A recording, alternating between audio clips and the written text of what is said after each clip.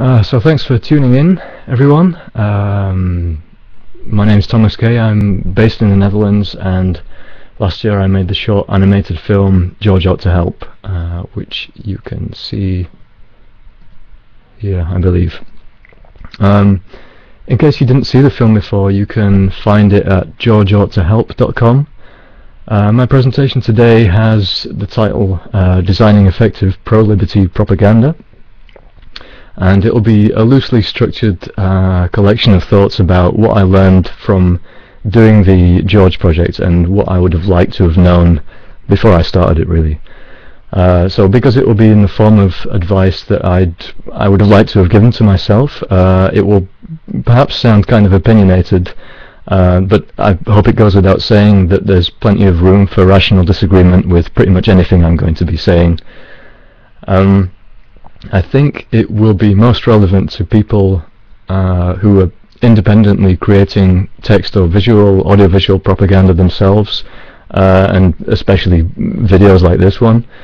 Um, but many of the ideas, uh, as, as well as being relevant to uh, to promoting liberty-based stuff, uh, I think are also more generally applicable to any attempt at persuasion. Um, if you have any questions, if any questions come to mind while I'm talking, feel free to uh, to put them straight into the chat, and then when I've finished, I'll go back through that and try and uh, track them back and answer as best as I can. Uh, and if anyone's just joined chat, be sure to uncheck the post to Facebook checkbox unless you want your comments to appear on your Facebook wall and confuse your friends. Uh, the presentation I've prepared will last about 20 minutes. At the end of that, I'll look at the chat window and answer questions and so on. Okay. Uh, it may sound obvious, but I think it's worth making explicit that when you're working on a, on a, on a video piece like this, uh, your script is the most crucial part of what you, of what you're doing. Um, so it's really important that you take the time to get this part right. Uh, I think you should plan to spend much longer on your script than you anticipate needing. Um, you should be prepared to write and rewrite your scripts. Uh, ideally, you should have your script looked over by friends, and ideally friends who aren't already uh, aligned with you completely ideologically. Um, so I'm lucky enough to have a bunch of friends who are interested in hearing the case for liberty, even though I think most wouldn't uh, count themselves as libertarians. An important thing to bear in mind as you're doing all this is you should be careful not to get attached to what you've created uh, in terms of the early versions of the script um, because you're, you're very likely to need to change it several times based on the feedback you're going you're gonna get uh, from those who look over the early drafts. Uh, just as a quick practical note, I used Google Documents to share the script among friends and then arranged a couple of meetings where friends would come over and we would talk face to face about what they thought was working, um, what things, what ideas were being expressed clearly, uh, which things needed more uh, fleshing out, and and which things were just not really working at all. Uh, if you if it turns out that you don't know uh, people in real life who can uh, real life in real life who can uh, who can help you with this. Um, you could consider posting the script online on a forum uh, like Mises.org. I know of uh, a friend of mine who's doing just that to get feedback on a web a video project that he's working on. Um, when you have when you're getting feedback on on your project, uh, if, if if it's not working, if your script needs too many qualifiers or it's too confusing or you don't know how to make it interesting, uh, you shouldn't be afraid to scrap the whole thing. Uh, in general, you shouldn't be precious about your ideas. And you should especially be wary of committing the sunk cost fallacy where just because you've invested already um, a lot of time and energy in a, into your idea, uh, that's no reason to continue investing in it if it's not working. And if you do um, if you do scrap uh, an idea you've been working on, don't think that you need to come up with a replacement either. Uh, the best ideas can come to you while you're not trying to think of them, or at least that's that's what I found. So be prepared to let that process happen and don't think that you need to force it. Uh, the next item is uh, maybe a bit confusingly titled. Obviously it's nice to have uh, beautifully designed uh, things with, with, with great audio and visuals and uh, you want to make something aesthetically very pleasing perhaps, but seduction at the cognitive level is much more important I think. And it's probably not straightforward to explain what I mean by seduction in this context, but it should feel a bit like having your brain tickled. Uh, it, you should be, you should feel uh, flattered somehow, and uh, it, it, should be a kind of game almost. In general, uh, people aren't stupid, I think, or at least if they are, then those people aren't your target audience. Your audience, the people who matter, will quickly understand if you're trying to persuade them about something. And I think it's the job of the propagandist to uh, accept that situation as a given and try to then make the experience as pleasant as possible for the person watching.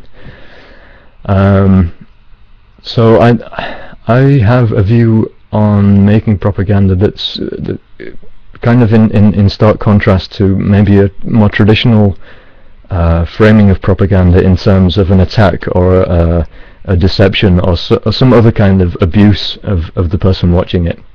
I don't think it needs to be that way. So uh, to make this a bit more concrete, how do you make uh, something seductive in, in, in the way that I've been trying and maybe failing to explain very clearly? Uh, so say you have the first draft of your uh, script. I think you should read it through and anticipate the objections and concerns that your target audience is going to uh, reply with and you should aim to preempt them, preempt these concerns, or even better, uh, wherever possible, you should uh, concede them. Uh, if there is a legitimate uh, complaint about an idea or something that's, uh, you know, something that's worth mentioning, then uh, concede that. This is a perfect chance to establish your goodwill, to show that as a creator of the propaganda, you're also a reasonable person and um, you're not out to trick them. So um, you should take care with how you're framing your argument. Uh, in particular, I strongly believe that you should avoid stacking the deck in your favor. And by that I mean you should avoid making the surrounding conditions artificially favorable to the conclusion that you want to reach. Um, if you stack, uh, uh by that I mean the surrounding conditions of the, uh, for instance, the story you're telling. So if you stack the deck in your favor, the intelligent audience who, who, who you're wanting to reach will quickly see that you've cheated somehow, and uh, and they're not going to they're not going to listen to whatever else you have to say. Where you can get away with it, I'd recommend even stacking the deck against yourself. Um, and this probably begins to sound all a bit too abstract. So uh, to give a concrete example, in the new animation I'm working on, one of the main characters is a business owner. And he's the stereotypical ruthless uh, capitalist that you might find in uh, a piece of Marxist propaganda. Um, even though the animation is advocating a position that ends up meaning increased uh, an increased measure of freedom for business owners and for this uh, evil capitalist, uh, it doesn't hurt the argument in the film to depict this character in this completely unsympathetic way. So that's what I'm going to do. Um, even though the argument for freedom and freedom of association ends up benefiting the bad guy, if we accept it in the story that I'm planning, the argument is still solid. I hope. Uh, so. Uh, that's how I'm going to approach it. Another example was with the uh, George Ought to Help film, uh, Oliver is the character who asks George for help, uh, and he's trying to fund the education for his kids, uh, which I thought many people would agree was a pretty important goal as far as uh, goals go. And the George character refuses uh, to help Oliver without giving any reason for having refused. So George ends up looking pretty cold and heartless, and, and this is perfect for the, the kind of situation I wanted to set up uh, essentially the scene is set for what I hope is the realization that even though Oliver's cause is worthy and George has no good reason to refuse him, it's still not acceptable to, to threaten George. So the general idea is that even sorry, the general idea is you, you show that your argument works even when it favors unsympathetic characters, for instance.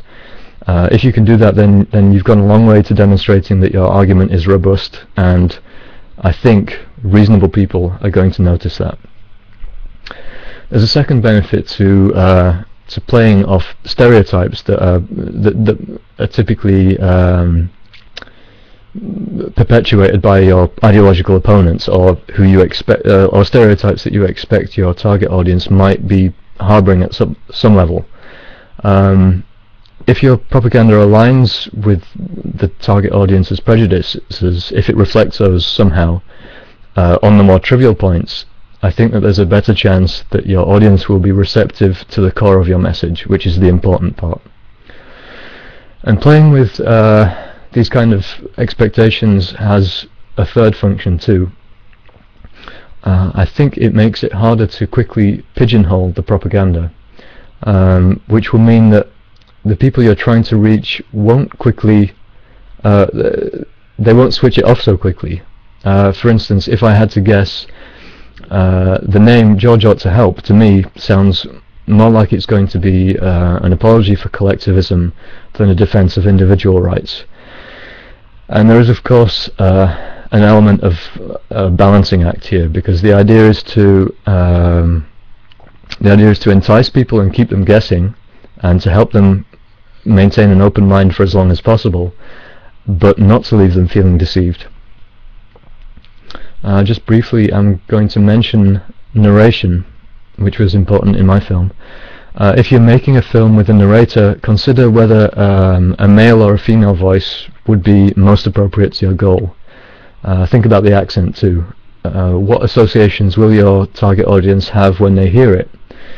Can you choose a narrator whose accent and way of speaking can help uh, delay the moment of cognitive withdrawal or that moment of pigeonholing?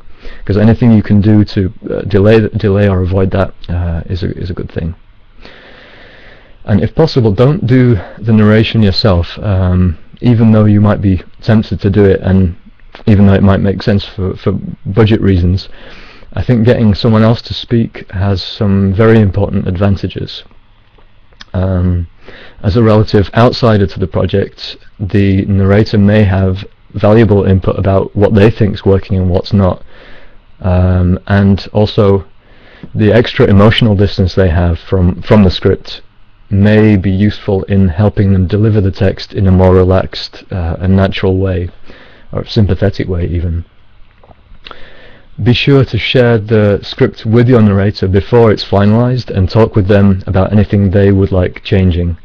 Uh, it's especially important that you take care to be sure that the narrator or anyone else who's speaking uh, or being involved in the project, you need to make sure that they're all happy to be involved in spreading the kind of message that you that you want to put out there because it, that's yeah you shouldn't take that for granted let me see yeah you should set yourself modest goals I think um, you shouldn't try to sell the entire uh, libertarian package deal if there is such a thing in five minutes you, you don't have the average person's attention for long enough uh, to do a good job of that anyway. So instead, try to deal with one issue uh, that you think you can kind of uh, isolate and, and treat and, and deal with in a in a solid way. If you can do that well, then I think your audience will be more receptive to the next piece of libertarian speech that they come across. Uh, so if you're making a short video, then get used to the idea that you're contributing to the uh, cumulative case for freedom and don't feel as though you need to do it all alone. Connected with the this idea of uh, a modest goal, um, don't make controversial assertions. I think uh, phrases like taxation is theft. Uh, they might resonate very powerfully uh, with you and with people who are already convinced of the non-legitimacy of the state But I think that these kind of uh, sound bites are a barrier to persuading those who aren't already aligned with you in that way. Uh, I think, for instance, with, with taxation is theft, people may quite reasonably ask, or ask to themselves, since they can't ask you perhaps, uh, how you're defining theft, and uh, they might think that they might realize that theft carries the implication of illegitimate taking, not just taking in general, uh, which ends up being question begging until there's already an agreement uh, on the non-legitimacy of the state, I think. Um, I think you should err on the side of understating rather than overstating your message. This also has to do with the, the modest goal idea. Um, so you should, I think, stick to those claims that you're convinced are irrefutable by reasonable people. You may, you may, uh, you might know of more exciting arguments that you that you would prefer to use, uh, but until you know an argument and, more importantly, its counter-arguments inside out, I'd strongly avoid. Uh, uh sorry, I'd I'd strongly advise against using it. Uh, the, the, risk you want to avoid is you don't want to undermine the strength of your piece by including an argument that your critics can dismantle as soon as the thing has been released. Uh, that will be used as an excuse to dismiss the entire thing. So for me, getting uh, feedback on the script early on, as I as I mentioned earlier, was a really useful uh, technique in in order to um, test whether I really knew an idea well enough to be able to express it in a solid enough way. And sometimes I, I couldn't do that, and those parts or those whole scripts sometimes uh, were scrapped. Where possible, uh, frame controversial ideas as questions rather than as assertions. I think you should trust that by suggesting the right questions, the goodwill and reasonableness of your audience uh, will make them receptive to your message. And I'm going to reinforce the, the point that I'm assuming that your target audience are reasonable and curious people.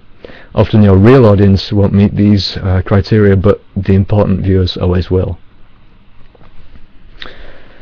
Uh, the next point, debate is research. Um, what I mean by that is that as well as talking with people directly about your scripts, your ongoing preparatory work should be debating the topics you're interested with, uh, you're interested in, with people who disagree with you, ideally. By doing this, you'll learn what the common objections are to certain claims that you might want to make in your propaganda, and knowing what these objections are means that you'll be in a position to either preemptively answer them in, in the script, or avoid those chains of reasoning altogether because some arguments are just weaker and more difficult to express than others, or you'll be able to acknowledge the objection and concede it. So as far as practicing with debate, I think YouTube is a very good place to do this. Uh, I use YouTube to uh, for, for this kind of reason. I have a, a channel there. I think if you go to youtube.com slash bitbutter, you'll get to it. Um, and of course there are plenty of blogs and forums where you can discuss things in comments. The next item, emulate. So you know yourself very well of course, which means that you have an automatic head start if you decide that your target audience is made up of people similar to yourself and I think that it should be. So although I went through most of my life uh, without giving a great deal of thought to questions about political or economic systems, uh, my political opinions were left-leaning pretty much by default because of the cultural environments I'd spent most of my life in. So when I was making the George animation, the target audience I had in mind were people from a similar background to me, uh, that is reasonably open-minded, left-leaning types, who hadn't yet given serious thought to what it means, for instance, to be an advocate of the welfare state. Uh, and I think the result would have been a good deal less successful if I'd decided to try and persuade uh, US conservatives about the non-legitimacy of anti-drug laws uh, for the simple reason that it's a group that I have no uh, connection with or uh, I've never been in that situation, my, situation myself so I'd have a great deal more trouble empathizing with that uh, target group. I think one approach that is very useful uh, in planning this kind of thing is to cast your mind back to the time that you started to become interested in the ideas of libertarianism and think about what kind of thing you would have found persuasive to hear uh, and what arguments wouldn't have worked then. And it could well be that you can even remember specific pieces of media that were pivotal in changing your mind about the validity of statism. And if you can remember a, a book or a video or something like that that, that that was important in that way for you, then this gives you an, another really important uh, head start. You can, and I think you probably should, emulate the messages that worked for you. And this is the approach I took with George to Help. Uh, the first anti-state video I saw, and the one that made the most profound impact on me, was a YouTube video called, uh, if I remember correctly, it was called The State is a Death Threat. And it drew attention to the violence inherent in law, which was something I hadn't given much thought to before. And after I'd read around the subject for a while, maybe a year or two, I wanted to create something that could trigger a, a, a, similar realization of the violence in, inherent in the way that the state works. Um, at the same time, uh, I wanted to do certain things differently. Uh, I wanted to make the message more seductive because the video I'd seen was pretty uncompromising and I thought that it that I could reach a larger audience by offering a more gentle introduction to the problem. And also rather than highlighting the background of violence in general, um, I wanted to focus on those times that threats were being made against peaceful people because that's where things are the most interesting, I think, in the case for liberty. So all this meant that before I'd even started really sketching or writing in earnest, um, I had a framework already, thanks to this previous video. In general, wherever possible, build on work that others have done before uh, before you. Uh, emulate what works well, and change the things that you think could work better. Uh, recruits. So most of what I've been saying has been about designing the propaganda and I'm going to finish with a footnote on promoting it. One thing that I'm doing quite differently with the follow-up to uh, George is that this time I'm crowdfunding the cost of production. The idea is to uh, raise enough money to allow a concentrated period of work on the next animation and to have it online before 2012. So in case anyone doesn't know already, the crowdfunding model is, uh, it works something like this. You make uh, a pitch explaining what you want to achieve and you invite people to donate and you reward donations uh, excuse me, you reward donations of different uh, amounts uh, with different gifts and often these gifts are uniquely tied to the projects you're doing. Uh, so for instance, a common gift for a crowd-funded film campaign is that a contributor can get their name in the uh, in the credits for the film. So the URL you can see at the bottom of the screen is the address of the campaign page to fund the production of Edgar the Exploiter. On that page you'll find a video of, of me talking again about the new projects as well as links so you can uh, you can donate and uh, get involved in it. Uh, with crowdfunding there are a few challenges one is that you need to be able to persuade potential supporters that what you're doing is worthwhile. And of course that's easier if you've already completed a similar project that you can point to, uh, like like I, am doing with George. But there are ways to get around that even if you haven't. For instance, if you're creating an animation, you could already create and show a very short sequence, or you could play an audio clip or show preparatory illustrations, or you could even consider uh, making your scripts public Another difficulty is that you need to be pretty proactive in promoting the campaign. Um, and I'm certainly not a born promoter. I don't I don't much like doing it, and I'm at the point where I'm getting a bit cautious about subjecting my friends to yet another email or Facebook post about the campaign. So I'm having to be more inventive, and that's part of the reason I'm mentioning it here now, of course, and why you'll see an advert for the campaign in the right-hand sidebar of the Agora.io site. So one of the biggest advantages of the crowdfunding approach is that as well as uh, allowing you to maintain independence, it means that if it works well, you have uh, tens or possibly even hundreds of people who are invested in the success of your project before you even begin uh, the work in earnest. So these are the people who are also most likely to enthusiastically help spread the word about your project once it's complete. Uh, of course, that is assuming you've done a good job of it, and assuming they still want to be associated with it. Um, you might even you could even experiment with having supporters have some influence in how the project uh, develops. For instance, they could um, they could even be involved in naming characters or perhaps even voting on different plot paths. And all of these kind of things could strengthen the feeling of involvement, which can in turn make people more motivated to help spread the word about it. Uh, that was most of what I wanted to say. Uh, if you have any questions that you haven't already posted in the chat, feel free to do that. Uh, in a moment I'm going to look through the, the chat room questions. Uh, a friend of mine messaged me a couple of questions earlier, so I'm going to start by answering those. The first one is, what is propaganda? And um, retrospectively, this would have been a good question to start off the whole uh, presentation with.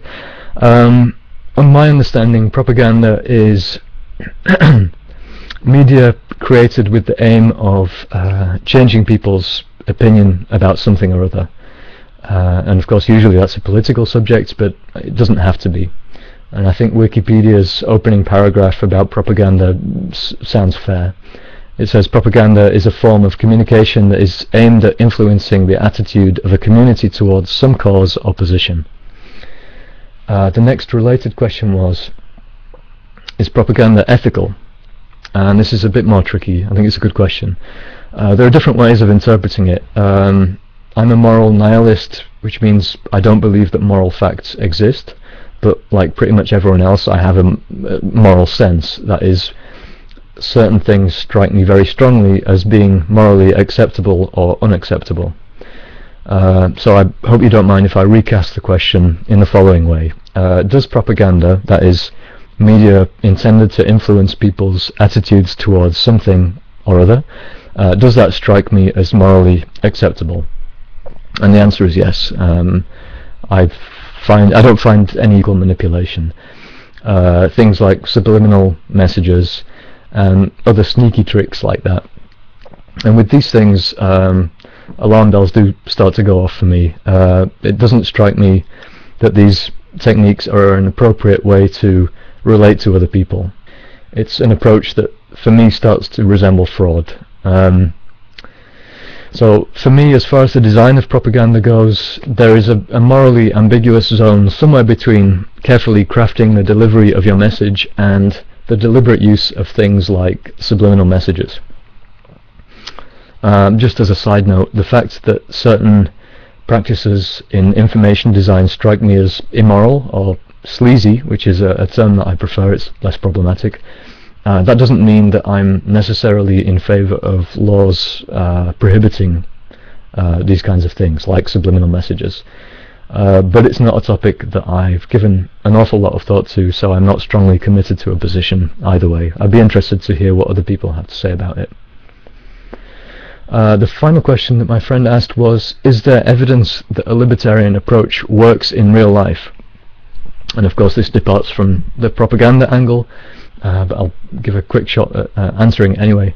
Um, I think it depends again on how the question is interpreted if the question means something like, is there an example of a large, modern and successful stateless society, then the answer is no. Um, we're still working on that. Um, but it can be interpreted much more broadly and there are historical correlations that many people believe indicate that state intervention is inversely proportional to prosperity. Um, but it's a big topic that I don't really feel able to do justice here, and many of the other speakers uh, in the, in this conference will be far better qualified than I am to speak on it. So I encourage you to ask some of the other speakers about it. Uh, before I completely leave that question, though, I think that a mirrored or a, a kind of upside down version of the question is, is worth bearing in mind though. And that is, the question is, is there evidence that institutionalized threats of violence against peaceful people are beneficial? Um, I'm not aware of any evidence that supports the idea that they are. Okay, now I'm going to look at the chat room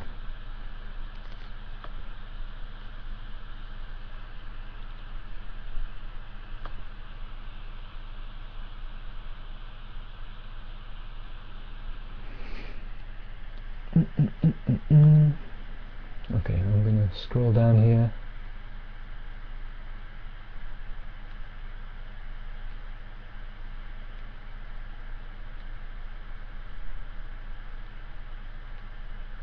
Yes, yes, yes. Thanks, George. Uh, and Ola. oh, thanks for all the donations too. That's really, uh, that's really helpful. Thanks, you, you guys. Oh. Something just went wrong.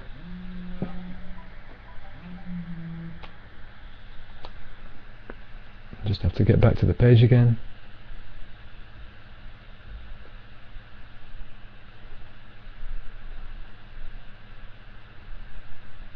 Slowly loading.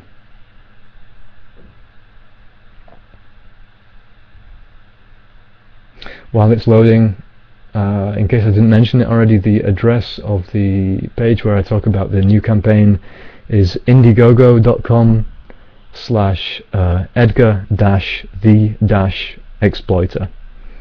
And then you can find all kinds of information about it. And I think if you like the George animation then you'll, you'll like that one too. Okay here we are. Now the Facebook chat needs to load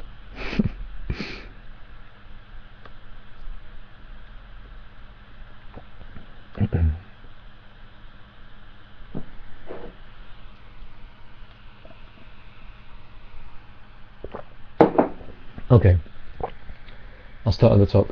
Uh, do you have any examples of effective pro-liberty propaganda aside from your own? asks Zach. Uh, it's a good question. I think the uh, what's it called?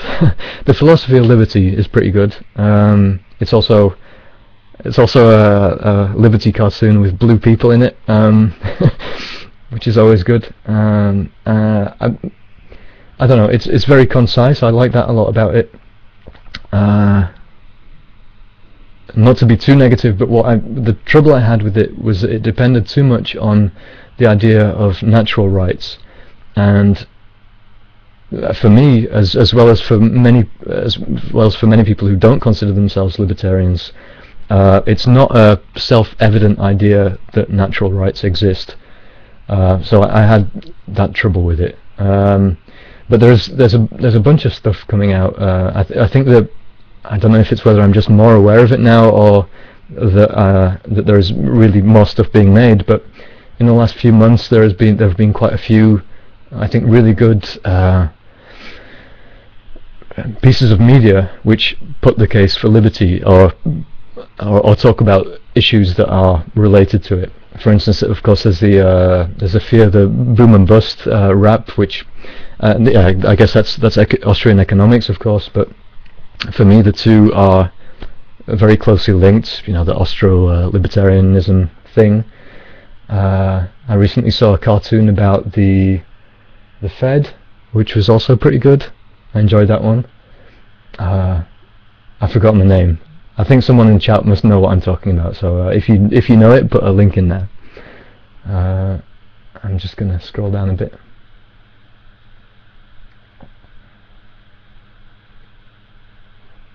Okay, I have until 55 past. Thanks, George.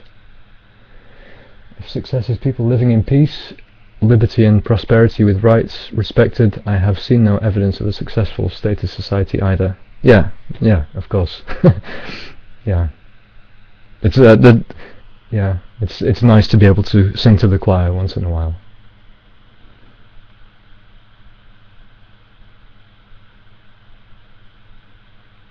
Okay. Uh, in spreading libertarian propaganda in peace groups, I do usually use a modest approach, bringing up relevant single issues as opportune in a friendly, problem-solving manner. Persistence is the real secret, just keep it up. It really gets the statist crazy to see you succeed and not be able to paint you as an evil right-wing libertarian, says Carol. Yeah, I agree. Um, I think it's... Uh, Gary, earlier today, had a really excellent talk, I think, um, talking about the uh, the temptation to um, yeah, to, to pwn uh, people, as, as as the internet slang goes, and and how that can be uh, quite destructive. And I think that the idea of modesty in in in in the media you create is is related to that.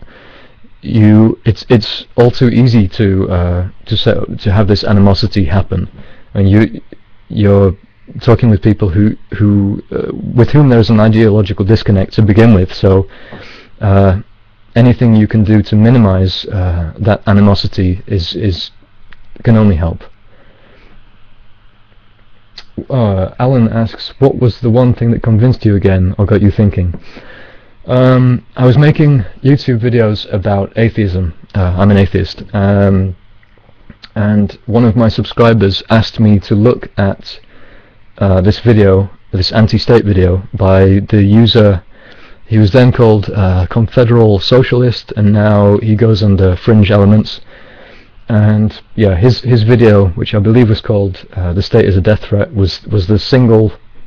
I guess that that was my first exposure to uh, to the case against the state, and uh, and that kind of triggered this uh, more or less frantic um, period of research, which which is still ongoing, really.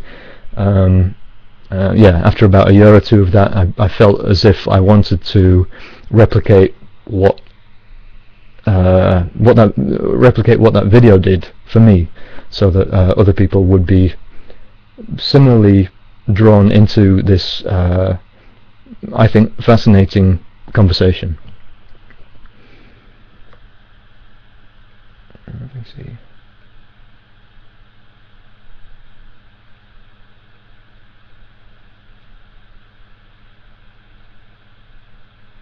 Uh, Alan says, you're making this seem doable. I'm getting ideas. I'm glad to hear it.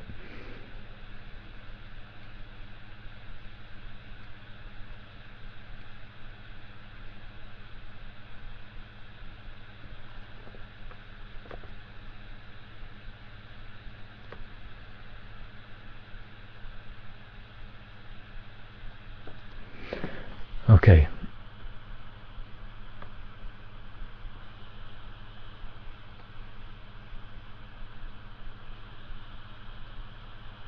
Are there any more questions or comments or um, observations or um, anything of that kind?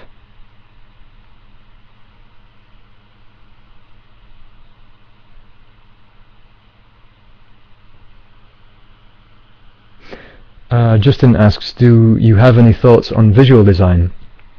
Um, yes, but uh, the the way I approach it is most 90% uh, intuitively. I just make the make the images that I find pleasant to look at, I guess, and also the images that happen to be easy to animate. um, in the, but there are also, of course, decisions in terms of the visuals that relate to um, the the structure of of the message you want to communicate. Um, one of my reasons for choosing one of my reasons for choosing to have the characters be blue, for instance, was that I wanted to I, I wanted the the George animation to be simultaneously uh, attractive, that it that it had this um, that kind of quality about it, that it had this yeah this nice look, but uh, also that um, that it had something a bit ominous about it, and and that that's not that that I wanted that to remain quite subtle, but uh, the color choice was one of the ways that I that I tried to create that atmosphere, this kind of vague uh, sense of foreboding. Um, yeah, apart from that, I'm trying to think if there's anything else sensible I can say about the design. Um, yeah, again, this may be kind of a trivial thing to say, but uh, again, be be modest and, and work within your means about uh, in in terms of what you what you draw. Uh, so I, I drew the things, I modified the story and drew the things that I knew I had a decent chance of, of being able to represent in a in a not entirely goofy way. So uh, that's quite important. Brian says, when I talk to peace groups, I like to bring up the subject of monetized debt in order to strike up conversations with these people that have little exposure to monetary theory. And yeah, uh, I have to say that uh, monetary theory is a topic that I'm only just beginning to uh, to research, so I, I can't comment very intelligently or intelligently at all on it, I'm afraid. End monetization and war. It sounds like a sounds like a good idea.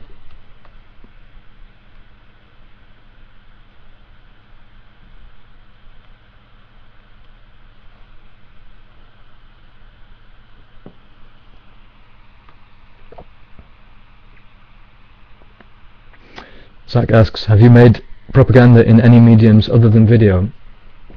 Um, no. Um, no. I only, uh, no. I, I talk to people a lot, of course, but uh, in terms of finished products, no. The video, in fact, the George video is the is the only thing that I've made that really feels like a, a, a completed product. Um, Justin previously asked, have you done any non-video agitprop? Posters, buttons, any experience with street art? Uh, again, uh, not really. There are buttons that I've just made um, as part of the Edgar the Exploiter project. They're rewards, so if you, I think if you donate $30, you get a button, so it's a very expensive button. Um, but that was a lot of fun. It was nice to make those buttons. There's one of George and there's one of the, the cloud. Street art. No. No, I, I, don't have any experience with that. Uh, Lauren asks, uh, can you talk about the framework of the Edgar video? Um, framework, framework. Uh, it's similar to George in that it's a, a story. Um, it's different to George in that it's uh, uh, an economic argument rather than a moral one. Um, because I think I, I, felt as though uh, George kind of captured the the the most important thing I wanted to say about the moral case for uh, liberty, and I thought that the valuable uh, complementary work to that would be to talk about some aspect of the economic case for uh, the economic case against state intervention. So it's the format is very similar to George. Uh, yeah.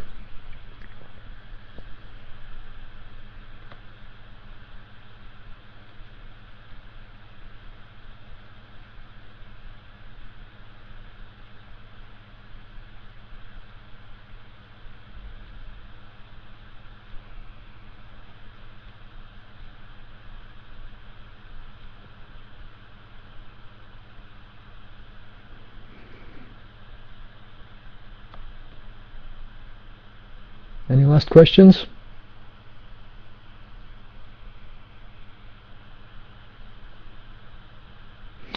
Ola says, I found wording to be very important when trying to bring ideas across to people. As an example, privatization most of the time does not work at all here, while getting the state out does. Yeah, privatization is a really tricky one. Um, also because what happens when as, as I understand it, what happens when uh, industries are privatized doesn't have an awful lot to do with the free market anyway. Um, yeah, you, you have a situation where private companies uh, are, are, awarded contracts by the state, so it's not an awful lot better, and maybe even worse in the end. Uh, Loring asks, in hindsight, would you have changed or added anything to George? That's a good question. Um, in the, with with hindsight, I'm the the part I'm least satisfied with is the uh, uh, police agents. Um, they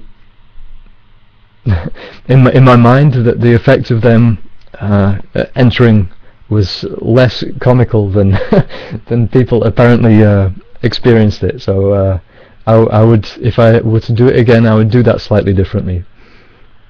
Um, apart from that, I'm I'm really happy with how it all went. Um, yeah, there are all kinds of technical, boring technical details that uh, that involved a lot of learning as I was, as I was doing it because this was the first time I'd used After Effects and Flash together in this way.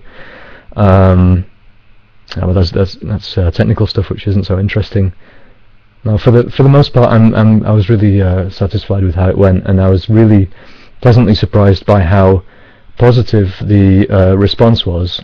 Um, that it was seen and, and, seen and shared by so many people. And what what continues to uh, surprise me, or you know, really makes me happy, is that uh, people continue to send to volunteer translations to to the Ought to Help. So I believe it's in something like seven languages right now. Indonesian was just added the other day, and um, yeah, it's something something I never thought would happen, but it's it's I'm really it's really gratifying to to notice that people. Uh, are, mo are motivated to volunteer their time and effort to, to do that kind of thing. It's really great.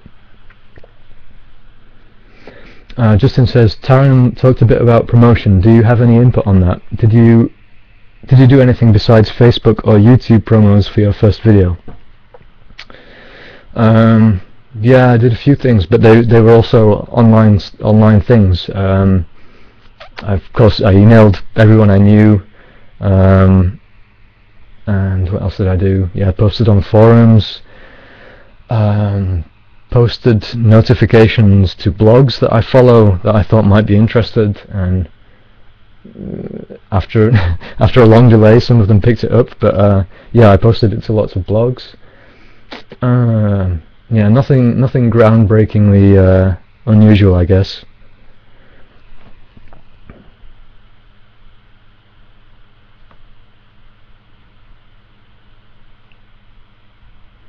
I think I have five more minutes, so if there are any last questions, please speak up.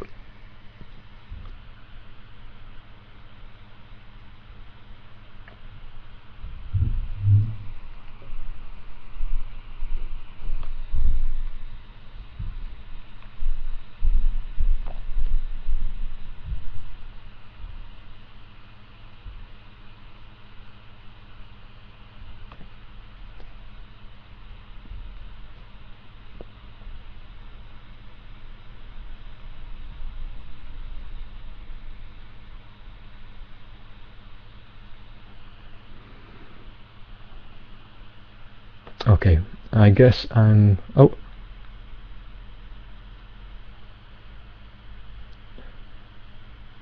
Uh, Justin says, well remember normal to you might be foreign to people who have never done any online promotion before, so even trivialities count. That's very true. Uh, so yeah, just mm, forums, blogs, email, uh, social media, which includes Facebook, YouTube, Twitter, um, if I were to do it again, I would add these kind of bumpers that you see on the bottom of my video here. This is something that occurred to me only in the run-up to preparing for this conference, uh, but th I think that can be useful too. That kind of uh, that, that kind of advertising. Uh, Loring asks, what themes will carry over from George to Edgar? Um, themes, themes. Um, I don't really know if there's a theme that will carry over. It's more the format that will be very similar. The cloud will still be there. I guess that's not really a theme. Um,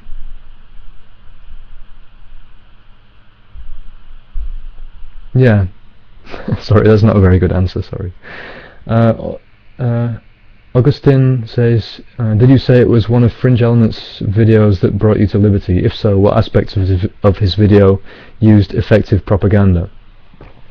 Yes, it was uh, Fringe Elements video, and um, which aspects of his video used effective propaganda? I think his his whole his whole video was effective propaganda. It was very condensed, very um,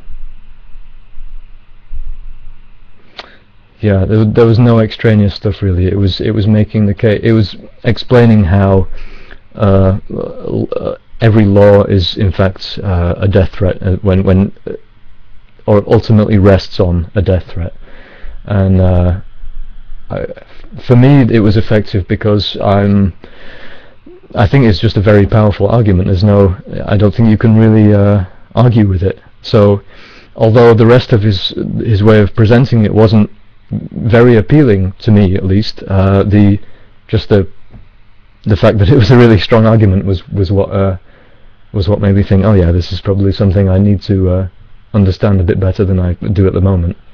So that's what started me uh, researching it all. Uh, Loring asks, will you still have blue people? Yes, uh, all the people will be blue. Um, and the walk cycles will be uh, probably a, bit goofy looking still. And the cloud will be there. And uh, yeah, it will have this slightly naive look with these uh, kind of semicircular hills in the background. Uh, the sky will probably be green, but I'm not sure about that yet. Um, yeah. Okay, I think I have to wrap it up to make sure that the next person has enough time. So thanks everyone for tuning in and asking questions. Uh, thanks for everyone's attention. Thanks to George Donnelly for his initiative in setting up uh, the conference and to everyone else working to make it a success. Uh, please check out this URL if you didn't do already and thanks very much. Bye.